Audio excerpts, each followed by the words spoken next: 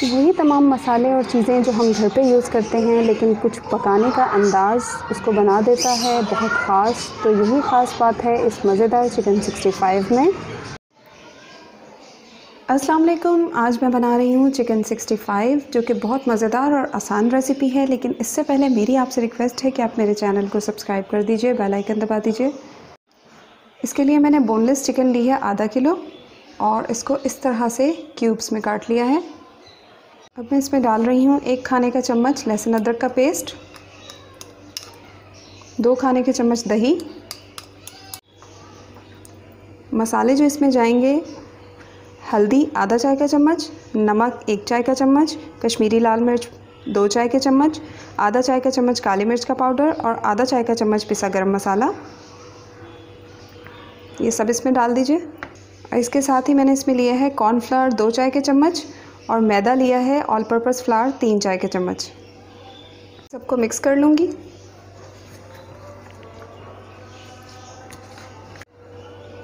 एक अंडा लिया है, इसको अच्छी तरह से फेंट कर डाल दूँगी। एक चाय का चम्मच कुकिंग ऑयल अब इसको फिर से मिक्स कर लूँगी। एक चाय का चम्मच मैदा मैं इसमें और शामिल कर रही हूँ, क्योंकि मिक्सचर मुझे थोड़ा सा पतला लग रहा है।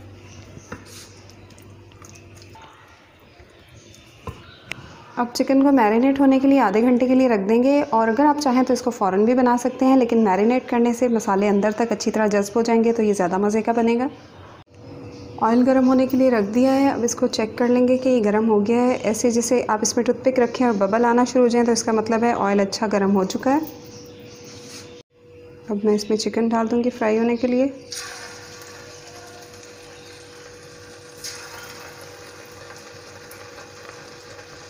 आधी चिकन एक दफ़ा फ्राई करूँगी और आधी उसके बाद दोबारा करूँगी। एक ही दफ़ा सारी चिकन नहीं भरनी है हमें।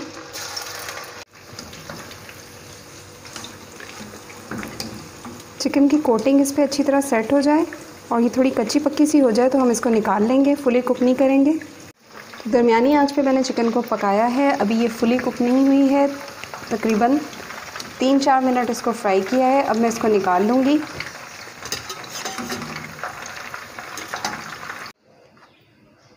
पूरी चिकन को मैंने दो बैजेस में फ्राई कर लिया है, कच्चा पका कुक होने तक और जो इसकी कोटिंग है इस पर अच्छी तरह सेट होने तक। तो तकरीबन तीन चार मिनट एक बैच को फ्राई किया है दरमियानी आँच पे।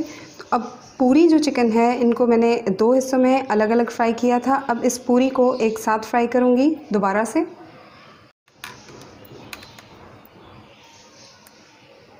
और दोबारा से फ्राई करने के लिए ऑयल को अच्छी तरह गर्म होना चाहिए, तेज़ गर्म होना चाहिए ऑयल अब मैं सारी चिकन ऑयल में फ्राई होने के लिए दोबारा से डाल दूँगी।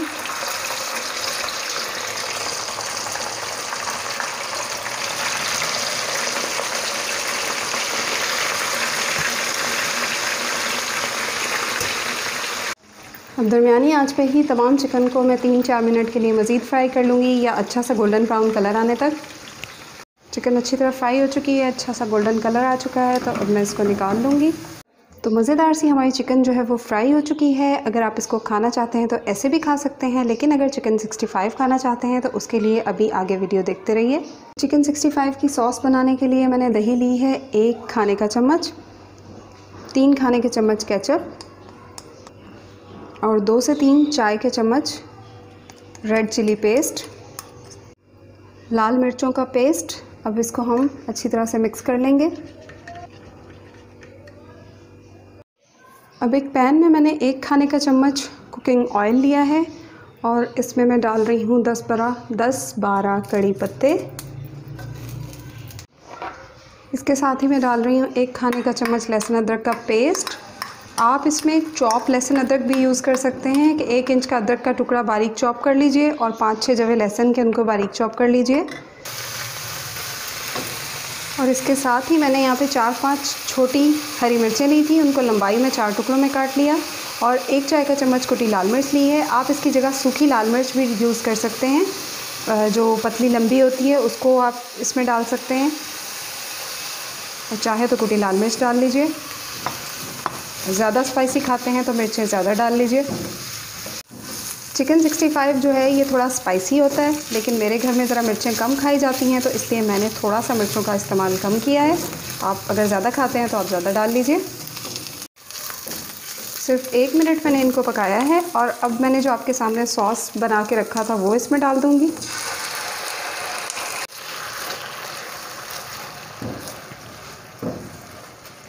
इसमें अक्सर लोग रेड फ़ूड कलर भी डालते हैं कलर और ज़्यादा डार्क करने के लिए, लेकिन मैं नहीं डाल रही हूँ, क्योंकि कलर का इस्तेमाल ज़रा कम ही करना चाहिए खानों में। और वैसे भी हमारी ये रेड चिली पेस्ट और केचप से बहुत अच्छा सा कलर आ चुका है। इसको भी मैं एक मिनट पका लूँगी। एक मिनट पकाने के बाद अब मैं इसमें शामिल कर रही हूँ। एक चाय के चम्मच से थोड़ा सा कम नमक है। दस बारह मैंने काली मिर्च ली थी, उनको कूट लिया। ताज़ा कुटी हुई काली मिर्च है। ताज़ा जो कुटी हुई काली मिर्च होती है, उसका फ्लेवर, खुशबू बहुत अच्छी आती है। इसको मिक्स करूँगी। और अब मैं इसमें ये फ्राई की हुई चिकन डाल दूँगी।